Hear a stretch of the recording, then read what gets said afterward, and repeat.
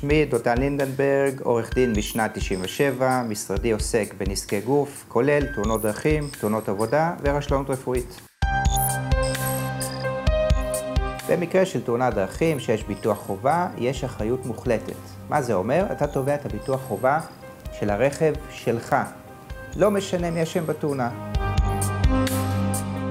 תאונת דרכים היא לא רק התנגשות רכב ברכב, יש מקרים נוספים. למשל, מקרה שילד רכב על אופניו ונבהל מרכב שחלף. הילד נפל ונפגע. האירוע הוגדר כתאונת דרכים. או מקרה שנהג משאית ירד במהירות מהמשאית, החליק ונפל.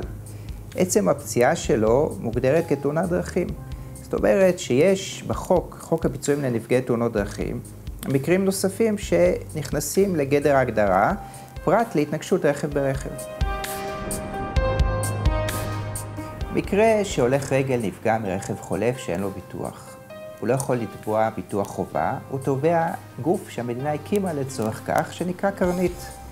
מקרה של נהג שנוהג בלי ביטוח ונפגע בתאונת דרכים, הוא לא יכול לתבוע את קרנית, אבל אם הוא לא אשם בתאונה, הוא יכול לתבוע את אותו גורם שגרם לתאונה.